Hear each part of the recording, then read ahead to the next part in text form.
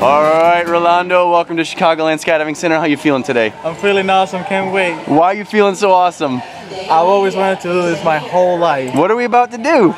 Jump out of a plane. All right, man, that's awesome. Uh, how high are we going today? 9,000 feet. Sweet, man. You got anything to say to friends or family before we go? I will survive. Amen, brother. We'll see you in the sky.